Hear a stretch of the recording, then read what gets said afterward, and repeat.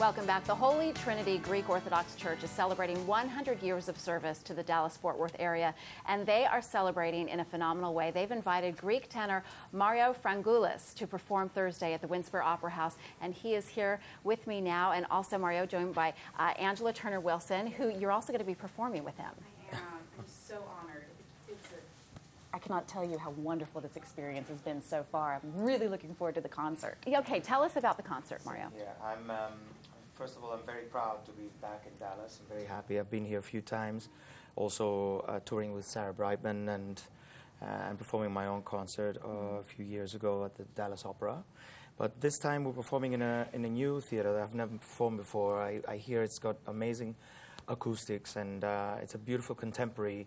Uh, theater called the Winspear Opera House. I think you're going to love it. And uh, I know, so I hear, I see amazing pictures. Uh, even Marilyn Horne, who is my uh, great mentor and uh, a great legend in, uh, in the opera world, she said, I have to visit that place. I hear all good things about it.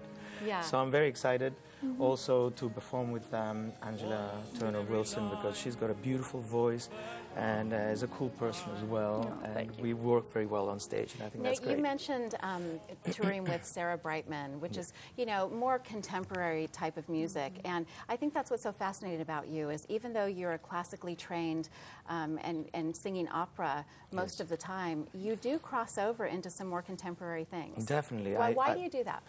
I believe in bridges, and I believe in bridges between um, the classical world and the masses and the people, because uh, sometimes uh, the audiences have a very strange or a very kind of um, uh, reserved idea of what classical singing is, of what opera is. So I have, I, you have to find ways of reaching out, and um, and and then they will come to you. You know. So if you, uh, uh, what I do is classical crossover uh, genre singing, like Bocelli, like Josh Groban, you know, a few like Sarah Brightman, of course.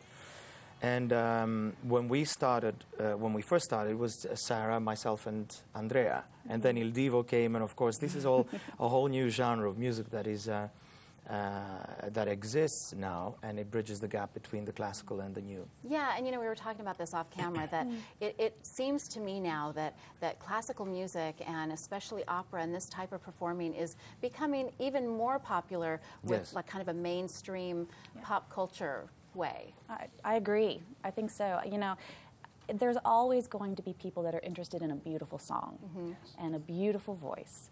And luckily, with this sort of crossover work that Mario has really brought to light, um, these beautiful voices like his can be heard and approachable to everyone. So, yes, I, you know, Mario said, I guess was it yesterday, he said, you know, once Billboard got involved and they got interested, Right. then all of a sudden, Then, you know, I mean, it- that's the ticket to that's mainstream. it. Yeah, right? and I think that's uh, that's one of the ways of keeping opera alive is to feel that you are part of what's happening today instead of uh, a past era, and uh, and that's how you will educate, I guess, younger uh, younger generations to get to love opera and difficult uh, uh, difficult. Um, uh, works like uh, you know Puccini's works and Verdi's works and Wagner's works, um, they wouldn't have a, a way of being introduced unless there were people like Angela, who is actually also, uh, to her uh, uh, credit, you know, she teaches every now and then, and she um, can uh, you know transmit this love that she has for opera and her beautiful opera technique and her voice to younger people. And can we great. talk about the training for a moment? Because, um, and I'm assuming Angela with you as well, not just singing in English.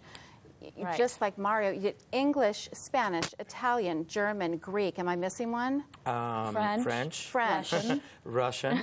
right? I mean, the training, the, the, the education behind it has to be so incredibly intense.